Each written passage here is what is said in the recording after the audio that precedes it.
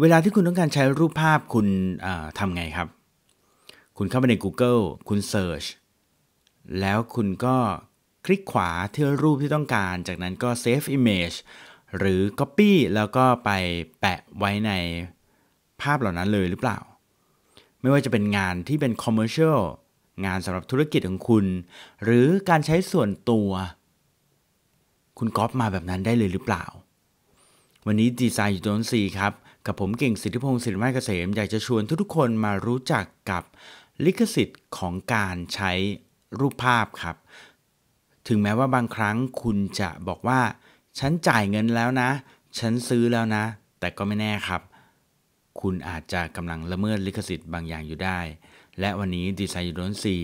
เรื่องเกี่ยวกับดีไซน์ที่คุณพบทุกวันแต่มองไม่เห็นจะพาคุณไปรู้จักกับไลเซนส์และลิขสิทธิ์ ของการใช้ภาพครับ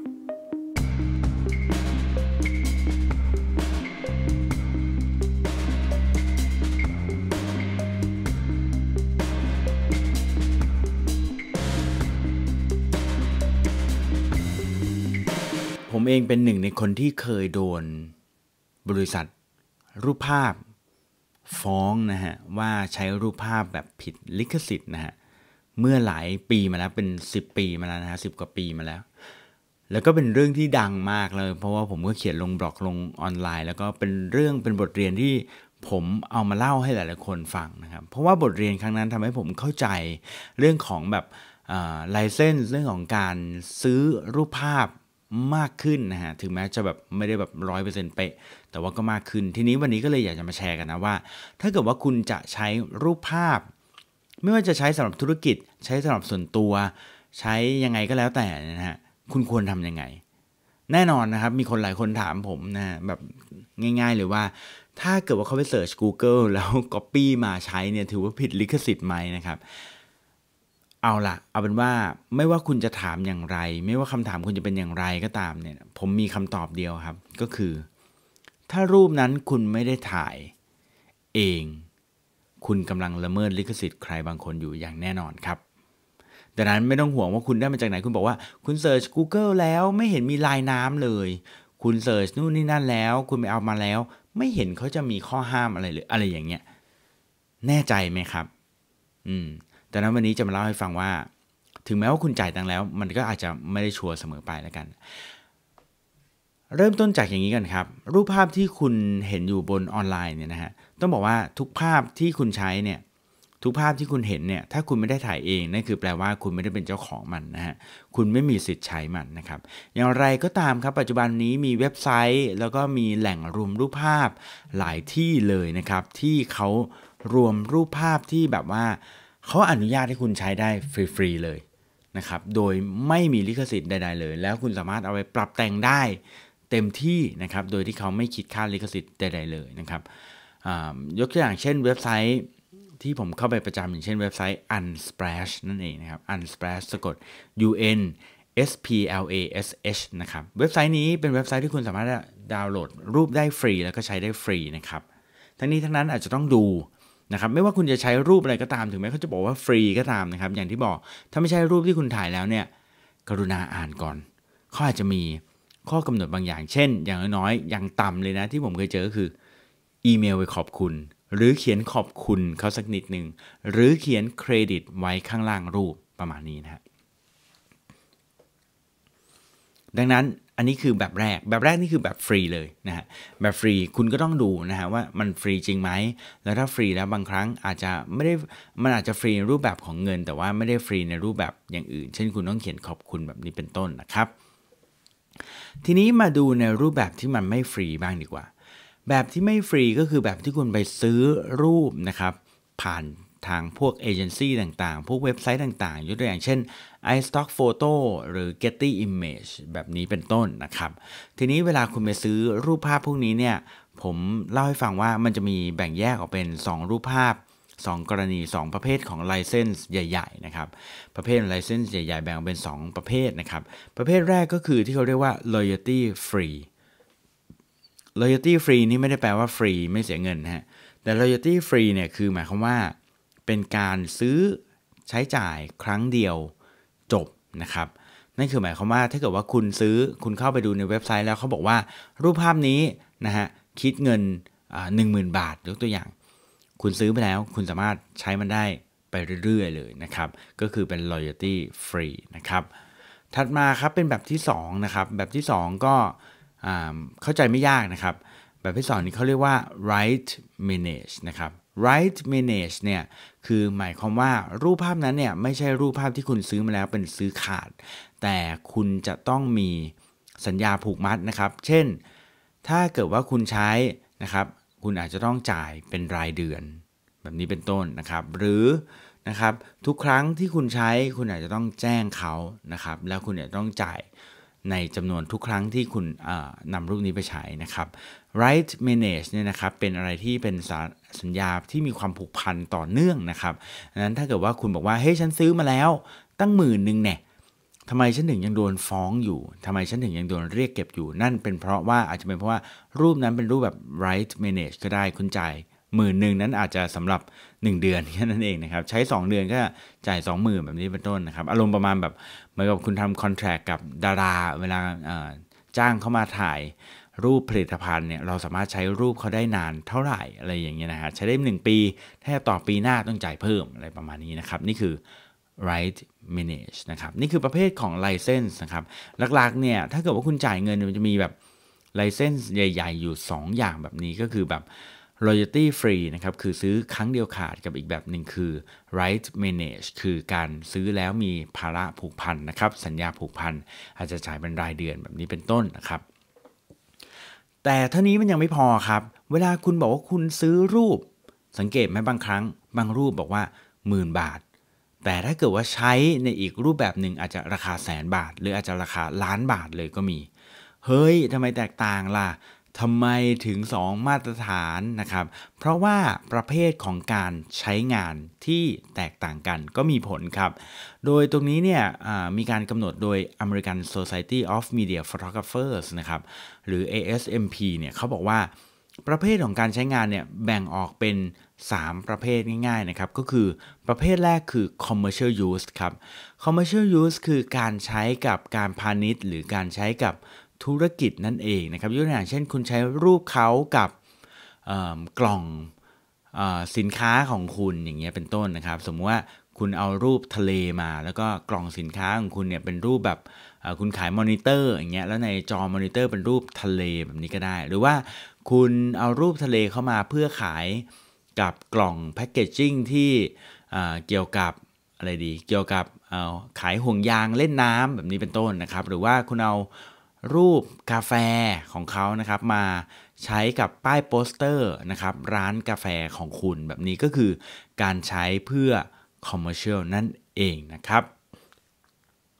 ถัดมาครับเป็นการใช้แบบ editorial นะครับ การใช้แบบ editorial ก็คือการใช้เพื่อออย่างเช่น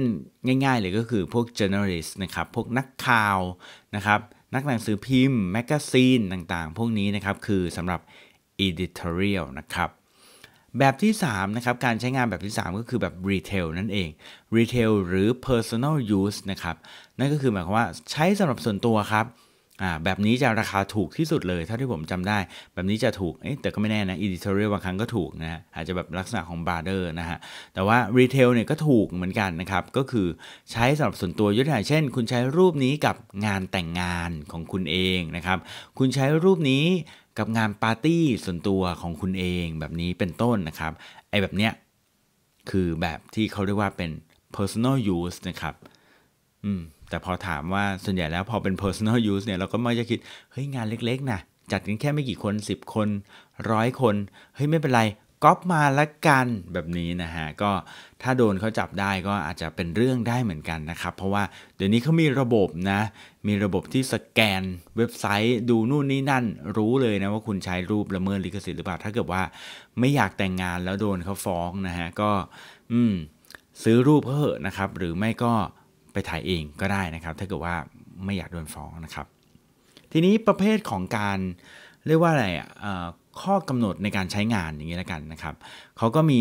หลากหลายประเภทนะครับ แบบแรกเขาเรียกว่าเป็น single domain นะครับ single domain ก็คือหมายความว่าใช้ได้กับ medium เดียวเท่านั้นนะครับยกตัวอย่างเช่น ใช้กับเว็บไซต์ หรือใช้กับสิ่งพิมพ์อะไรแบบนี้นะครับเขาเรียกว่าใช้เป็นโดเมนนะครับเรียกว่าซื้อเป็นโดเมนเอานะครับถ้าเกิดว่าคุณซื้อแล้วบางทีเขามีกำหนดแล้วว่า รูปภาพนี้ใช้ได้กับเว็บไซต์เท่านั้นอย่างเงี้ยถ้าเกิดคุณจะเอาไปใช้กับ แอปพลิเคชันนะครับอยู่ในแอปคุณต้องจ่ายเพิ่ม ถ้าคุณจะเอาไปใช้กับสิ่งพิมพ์ ลงแมกกาซีน คุณต้องจ่ายเพิ่มแบบนี้เป็นต้นนะครับการใช้งานนะครับ restriction เนี่ยมีอีกก็คือในเรื่องของ seed นะครับเขาเรียกว่าเป็น seed seed คืออะไร seed ก็คือจำนวนดีไซเนอร์ที่จะเอารูปนี้ไปทำครับนะฮะดีไซเนอร์ที่สามารถดาวน์โหลดรูปนี้ได้ แล้วเอารูปนี้ไปทำได้นะครับ มีกี่คนอย่างนี้ก็ โดนด้วยเหมือนกันนะครับ 3 คือประเภทแบบ resale รูปนี้คุณเอาไป resale หรือเปล่า resale นี้ไม่ได้หมายถึงเอาไปเป็นแบบของ packaging อย่างที่ผมเล่าให้ฟังแต่หมายถึงว่า คุณอาจจะโหลดรูปเข้าไปแล้วเอาไปทำเป็น T-shirt เอาไปทำลวดลายบน